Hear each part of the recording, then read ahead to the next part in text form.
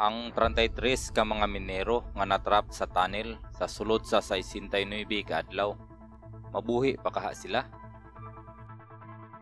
Pero una pa, kung hilig mo ingani nga video, ayaw mo kalimot sa pag-subscribe ug pinduta pod ang notification bell aron updated mo sa atong sunod nga mga hisgutanan. August 5, 2010, Atacam Desert, San Jose Mining, Copiapo, Chile. Naay 33 ka mga minero nga misulod sa tunnel nga copper and gold mining nga gipanag-iyahan sa San Esteban Mining Company. Alas 2 sa hapon sa mao gihapon nga adlaw. Samtang naana sila sa 5 ka kilometro nga kalayon gikan sa baba sa tunnel ug busy na sila ug balbag sa dagko nga mga bato. Ug nakadungog sila ug usog kaayo nga pagbuto. Ug ingon pa nila nga murag nakadungog sila nga naay bulkan nga ning buto. Ug nauyog ang ilang nahimutangan ug misunod dayon ang baga kaayo nga abog. Ug ang abog wala mawala sulod sa unom ka oras. Hinungdan nga dili sila makakita sa mga bato nga nangatagak. Ug aron malikayan nila ang mga bato nga nangatagak ug ang baga kayo nga abog, midali-dali sila sulod sa gitawag nilag emergency shelter nga naay kadakon nga 50 square meter. Pero ang problema, walay hangin diring dapita. Hinungdan nga nanggawa sila sa unahan nga naay kalayon nga duha ka kilometro diin makaginhawa sila og tarong. Ug pagkahuman sa unom ka oras, ilang nahibaw-an nga naay mura kadako ug napulo kaandana nga building nga nimpar down sa ilang agyanan. Hinungdan sa ilang pagkatrap sa sulod sa tunnel. Ug diri karon ang dako kayong problema. Problema sa mga rescuer ug problema sa mga minero. Ang mga rescuer nagproblema tungod kay kumusulod sila aron i-rescue ang mga minero naapay magsigig katagak nga mga bato. O posible nga naapay laing mobar down. Kay naay dagkong mga crack nga ilang nakita sa sulod sa tunnel.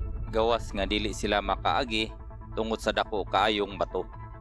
Ug sa laing bahin ang mga minero nagproblema sa ilang pagkaon tungod kay good for 2 days lang ang pagkaon nga naa nakapundo sa emergency shelter ug pila ka oras ang nangagi Kini nga panghitabo na balita dili lang sa Chile, kundili sa tibuok kalibutan. August 8, 2010. Ang mga rescuer nagsugod na sila og bangag nga naay kadakon lima ka pulgada ang kalinginon. Apan ang laing problema, wala sila kabalo kung asa nila ipunteriya ang angle sa drilling machine. Kay wala gyud sila ideya kung asa dapit na trap ang mga minero samtang busy sila og bangag sa ibabaw. Ang mga minero sa ilalom nagsugod na og budget sa pagkaon nga naa sa emergency shelter. Imbis mukaon sila katulo sa usa ka adlaw, kausa na lang sila mukaon sulod sa duha ka adlaw. Kunya ang budget sa matag usa, duha ka kutsaritang tuna, gamayng gatas ug usa ka biskwit ug ang tubig nga ilang ginainom gikan sa radiator sa bakpo ug crack nga naabot sa tunnel. Ug kining ilang pagbudget, wala sila kabalo kung unsay padulungan niini.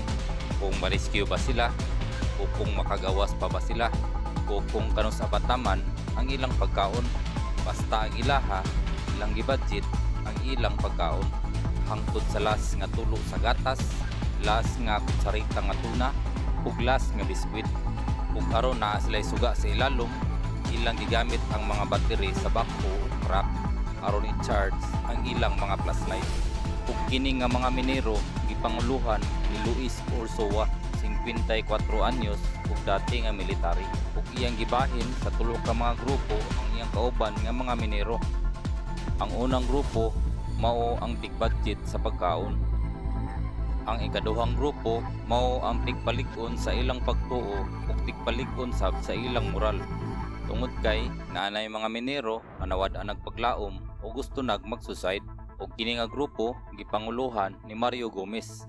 63 anyos ang pinakaidaran sa mga minero ug naghimo sila chapel kung asa sila magampo ug ang ikatulo nga grupo gipanguluhan ni Mario Sepulveda og kini nga grupo maghatag og gamay nga exercise aron dili na lang magsigi katulog o magsigi higda ang ubang mga minero. Ug kada adlaw nakigbisog sila sa pagkadesperado, kagutom ug kauhaw.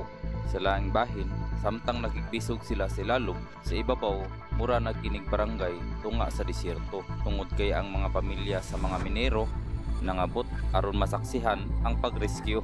Buyog sa paglaom nga unta buhi pa sila. Ug diri na sila nagtukod og tagsa-tagsa ka mga tent. Aron ilang kapuy-an samtang naa pa sila diri tunga-tunga sa disyerto. Gawa sa pamilya nangabot sab ang mga reporter sa mga nagkalalaing TV station sa ubang mga nasod. Sa matag adlaw nga mga agi ang mga rescuer halos mautda na og plano kung unsang angle nila ipunteriya ang drilling machine. Ug sa matag adlaw sab nga mga agi ang mga minero nagkaanam na og kaluya. Tungod kay imbis kada duha ka adlaw makakauna sila gihimo na kini og tulo ka adlaw usa pa sila makakaon. August 22, 2010 Human sa 17 ka adlaw masigi og binangagay ang usa sa mga operator sa drilling machine. Nakadungog og taguktok sa tubo sa drilling machine. Samtang naabot na niya ang 2,260 feet ug iyang gipadali og papalong ang tanang makina nga nag-andar aron iyang madungog og tarong asagikan ang tingog. Ug ang tingog nagkaanam kining kakusok tungod kay naabot na diay kini kung asa dapit ang mga minero. Ug aron makabalo ang rescuer ila kining gipangdukdok ug bakal ug ilasab nga gipinturahan ang tubo ug gibutangan sab nila og papel nga naay sulat nga nag-ingon buhi iming tanan kaming 33 ka buok Refugio los 33.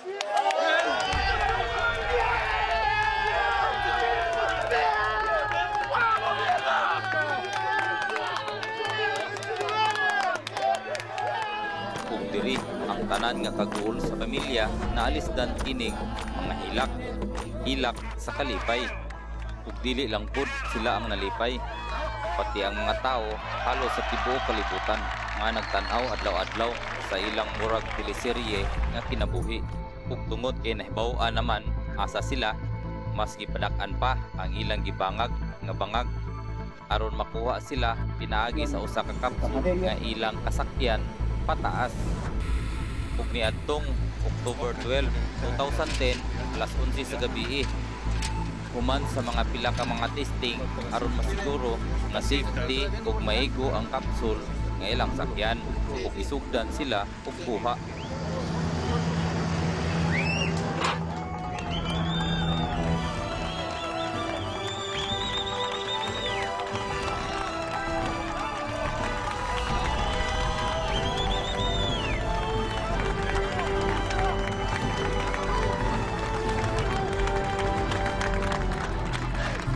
Niadtong October 13, alas 9 sa buntag, nakuha ang last nga minero nga natrap. Ug diri lang taman ang atong istorya. Daghang salamat sa pagtanaw. Kaya kalimot sa pag-subscribe.